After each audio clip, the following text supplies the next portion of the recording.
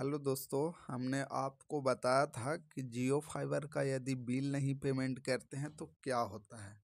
तो दोस्तों, मेरा जो बिल पेमेंट करने का ड्यू डेट था 20 दिसंबर था और आज हो गया है 23 दिसंबर। अभी तक हमने बिल पेमेंट नहीं किया है। अब दिखाते हैं होता क्या है।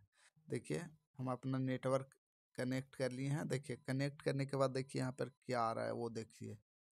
यहाँ पे ऑथेंटिकेशन साइन इन रिक्वायर्ड। ऐसे आ रहा है।